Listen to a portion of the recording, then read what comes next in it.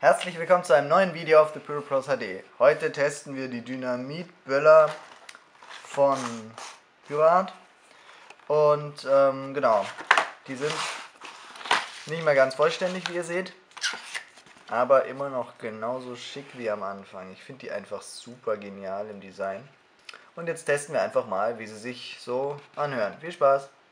Und jetzt der Dynamit-Deböller von Pyroart.